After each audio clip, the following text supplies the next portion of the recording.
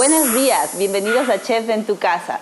Hoy tengo el gusto de cocinar para mi amigo Tex Alejandro Montes Falcones, deportista extremo santodomingueño y muy querido acá. Bienvenido, Tex. Muchas gracias, Alex. Ya sabes, siempre para servirte. Qué chévere. Bueno, Tex es muy sencillo para comer. ¿Qué me pediste?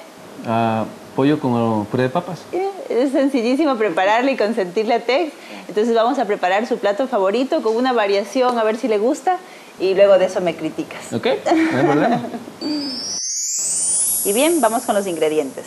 Tenemos una pechuga de pollo marinada en jugo de naranja. Ahí tienen un poquito de chorro de naranja y le vamos a dejar eh, que se marine una media hora, no necesita más. Un huevo, crema de leche y esto es sal con hierbas para cambiarle un poco al sabor del pollo típico que le ponemos ajo, sal, esto solamente tiene sal y unas hierbitas. Y lo vamos a panar con avena. Esa es la variante.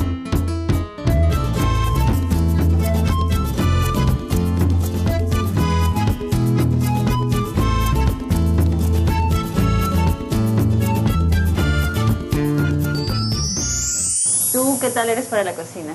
Más o menos. ¿Qué haces? Así, ¿cuál es la especialidad? La ah, puré de papas y este Ese es mi favorito, estofado de pollo. Y como todos los hombres, un duro en la parrilla también. Sí, me gusta, me encanta la parrilla, no hay problema. A ver, ayúdame con esto. Vamos a mezclar este huevito con la crema de leche. ¿Ya?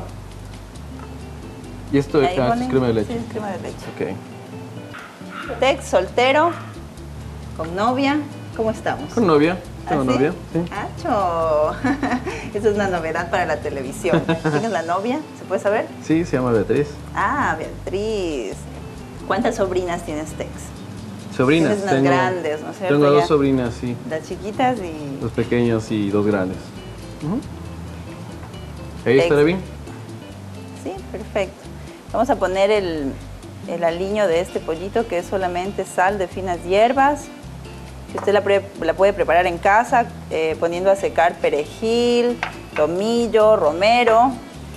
Luego lo, lo licúa con la sal, puede ser con sal gruesa y va a tener su sal casera, pero ya aromatizada. Vamos a ponerle estos generosos aquí para que se moje. Pero es una, una anécdota chiquita que nos puedas compartir. A, una anécdota pequeña, te puedo contar así algunas pequeñas. Como que una vez no se abrió el paracaídas y claro, regresé a ver y dije, oh, oh, ¿y ahora? Y lo primero que dice el instructor es, corta y abre el reserva. Pero yo veía que tenía la leve posibilidad, pero estoy hablando de milésimas de segundos, o sea, fue una cosa así. Y comencé a intentar abrirlo hasta que se abrió. Como que, Unos minutos de pánico. Y otra fue también en el río Damas, en la parte alta de Yuriquín haciendo kayak con muy buen, unos muy, dos muy buenos amigos. Entre ellos está Pablo Evans, que en paz descanse Pablito, un gran amigo, de mi también gran amigo Cody.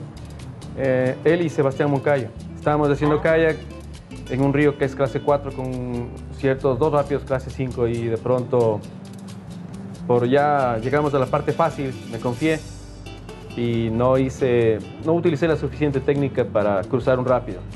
Y me caí, me di vueltas, hice el rol y me di vueltas otra vez y ya me cansé. Me tocó salir del bote y me mandó al fondo del, del hueco, ¿no? De un remolino.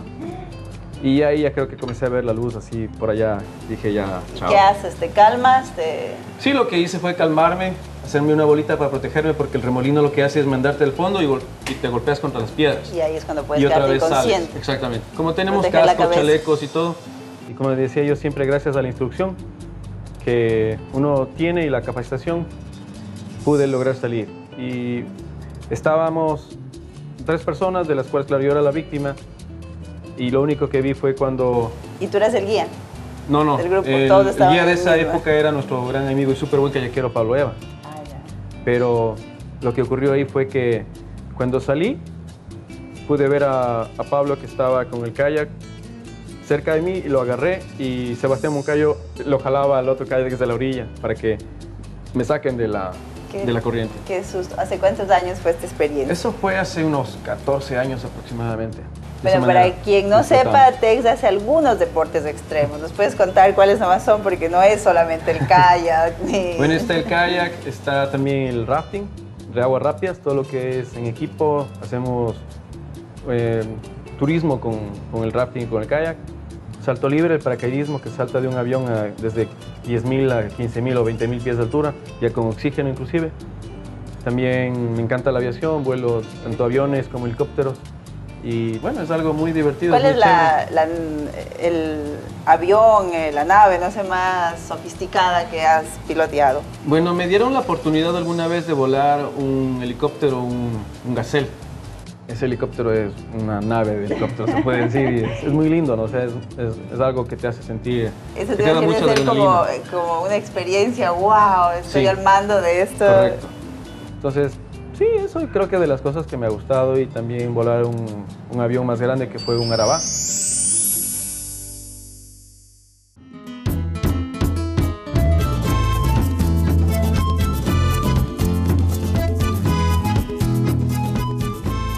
Y bueno, vamos a proceder a freír la pechuga. Está el aceite bien caliente. Vamos a dejar unos 5 minutos y esto va a empezar a coger un color bonito y va a estar listo para ser servido. Bueno, esto ya tiene un color dorado, bonito. Vamos a retirarlo. Está listo. Facilísimo. Bueno, vamos a montar tu plato, Tex. Espero que te guste. Yo lo voy a cortar porque voy a hacer otro tipo de, de decoración, no el típico. ¿Comes con arrocito? Sí, también. Ya. Yo soy muy arrocero, te podría decir. ¿Sí? Me encanta el arroz. Bueno, y un hombre con tanto ejercicio por hacer, tienes que tener mucho carbohidrato en tu dieta alimenticia. Eso le vamos a dar hoy, carbohidrato. Hay que alimentarse bien. Sí. ¿Cuánto pesas? 183 libras, exactamente. Bueno, aquí está el plato. Yo voy a acompañarlo con una salsa, por si acaso. Eh, quiere probar algo diferente, mi invitado. Vamos a pasar a la mesa. ¡Ta, ta, ta, tan! ¡Qué rico! bueno, wow. ahí está su plato. Eso y se ahí ve arrocito. Muy bien. Tiene buena pinta. Vamos a probar. Vamos a ver qué tal. Vamos a probarlo. ¿Qué le parece? Me parece excelente hasta ahora. Vamos a ver la otra parte. Probemos. Nomás, pero por favor, primero usted. No, no, el invitado. Dele, bueno. porque usted me va a criticar. Gracias.